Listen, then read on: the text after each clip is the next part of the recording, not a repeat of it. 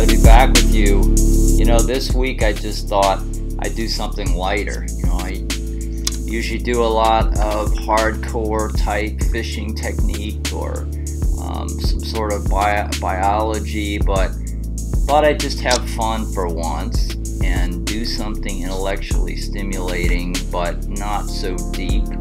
Although maybe it doesn't sound very light from the opening, but that's because there are some catastrophes out there that uh, scientists tell us are possible, like an asteroid hitting Earth, or super volcano exploding out in Yellowstone, um, or the giant earthquakes at you know the San Andreas Fault, where part of California could fall into the Pacific Ocean. And so we know about those, we hear about those.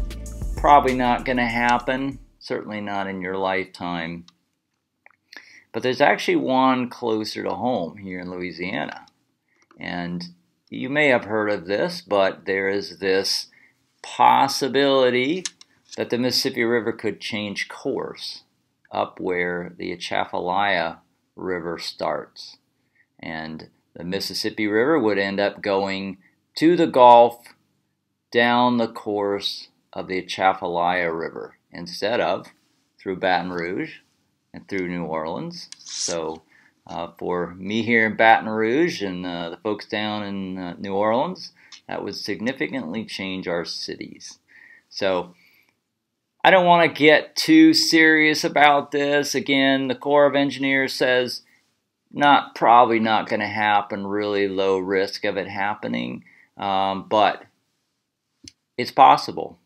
And there's a professor at LSU, E. Jun Xu, that has done probably a lot more publicity about this. He's done some lectures, and he has some some videos on YouTube. If you really want to get interested, uh, you know, you really want to dig into this and get concerned about it. Um, it isn't really it isn't keeping me up at night, but this show is about fishing and fishing related information, and so I'm really intrigued to think about this that if this did happen, how would it change the fishing in South Louisiana, especially as a trout fisherman? How would that change how I pursue speckled trout? First of all, you should know that the Army Corps of Engineers actually identified this as a possibility back in the 50s.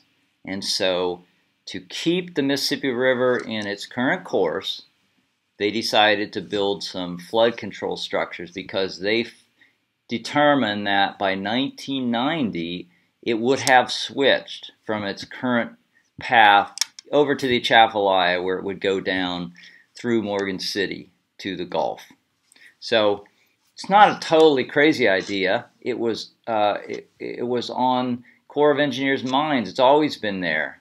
And so they took some measures to do that. And what they did was they put in flood control structures. So if you go up from New Orleans, up past Baton Rouge, you come up here to this spot. This is the Red River coming in.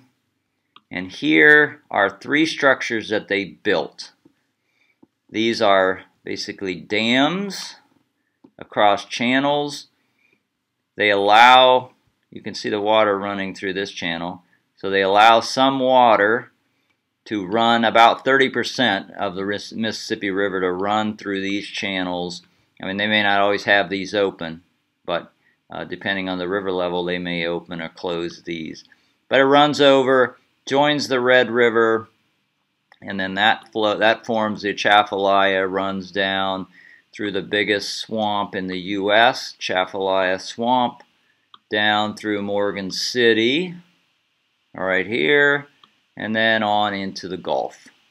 And it's building a nice delta down there on the Gulf. So the catastrophic theory is here that these structures, any one of these could fail. It probably wouldn't be this one because this one is kind of a backflow channel. But any of these two channels could fail. These structures could get knocked down. This one apparently almost got knocked down in 1973, or maybe it was, it might have been this one. One of these almost got knocked out. I think it was this one in a big flood in 1973.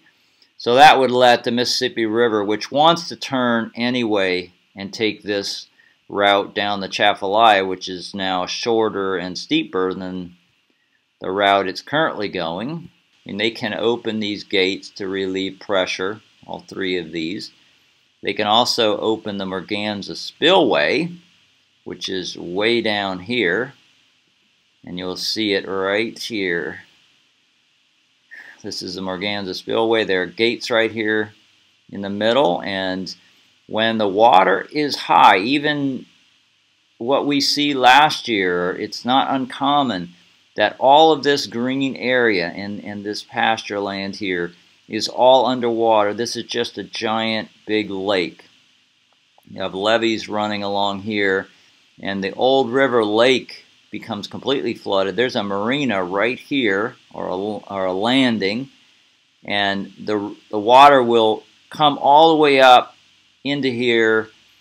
You can't even park, you can't launch. These buildings are on pile, uh, they're on they're floating buildings that are attached to these large pilings, tall pilings, and so that it'll just float right up. They can open the Morganza spillway, and this is the spillway in here between these levees. It runs to the Atchafalaya and relieves the pressure upstream so that these structures don't collapse. So let's just have some fun talking about what happens to the fishing in southeast Louisiana if the Mississippi River were to jump over to the Atchafalaya. First of all, salinity. You know I talk a lot about salinity and I watch the salinity a lot and I'm always look so much revolves around salinity. So that's the big change here.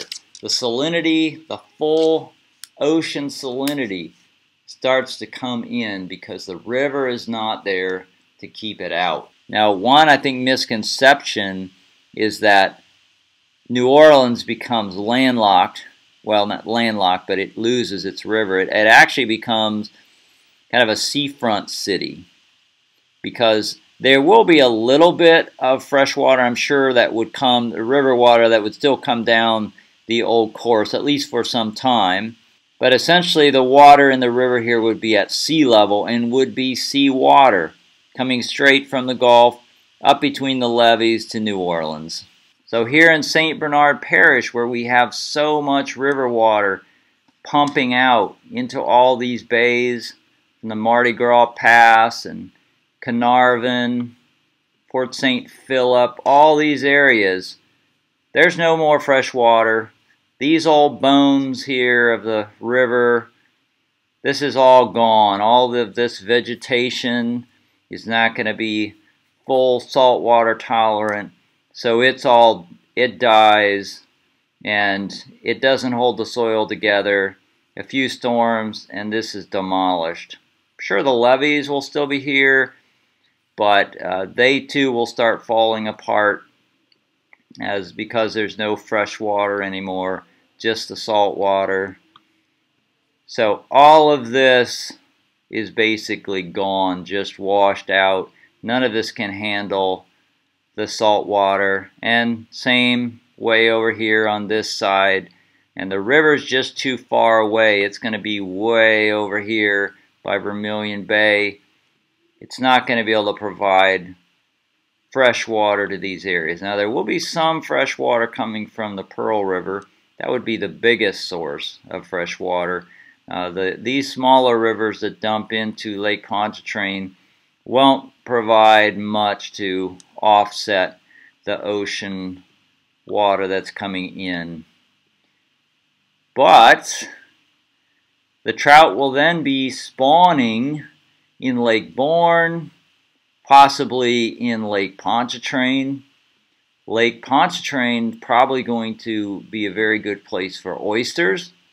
And in the wintertime, we're going to be catching trout in Maurepas, in all these small rivers coming in, the Amite, you know, all of these rivers along here, like the Blind River where it comes in on this diversion canal area.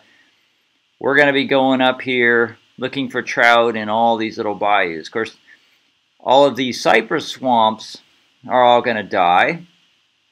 They can't handle the new high salinity in here either. All the submerged vegetation is going to die. So Lake Pontchartrain is going to be completely transformed. Not going to look anything like the way it was. Slidell will become quite a seaside city.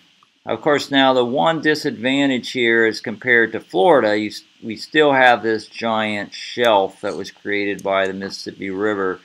So it's still going to be shallow in here. It's not going to be deep water, not the blue water fishing. Uh, but still a lot of saltwater species would come up there. And the habitat for the speckled trout and redfish will be significantly reduced. You'll be catching them up in Lake Salvador and all up in here. Uh, Des Allemands, all of this area, you're going to have speckled trout up in there. But the habitat for their growth is going to be significantly reduced. So the population is going to be much less, but easily accessible all year long from Baton Rouge and Slidell and New Orleans and all these areas around here. So while it would be easier to find the trout, especially in the summertime, I wouldn't have to run that far to find the trout. There wouldn't be that many there. I think it would be much more like you have over here uh, on the Mississippi and Alabama coast where you do have trout, but they're not in numbers like we have in the estuary of the Mississippi River as it, where it is now.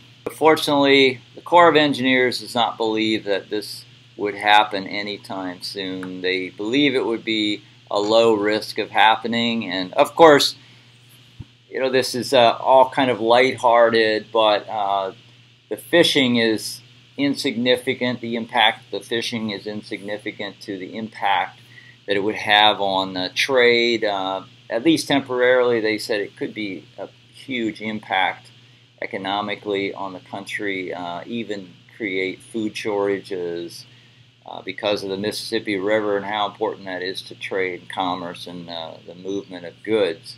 Uh, of course, you could you could rebuild all of the structure again, infrastructure uh, on the new river course, but uh, that would take years, and so there it would be some really rough times. We certainly wouldn't want to see that happen.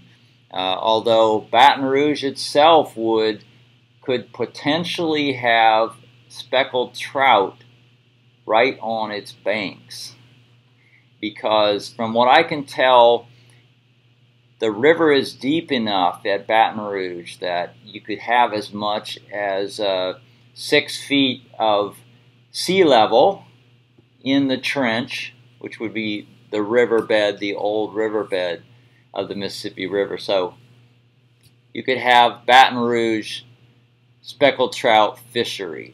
So that's a fisherman's look at the catastrophic event of the Mississippi River changing course.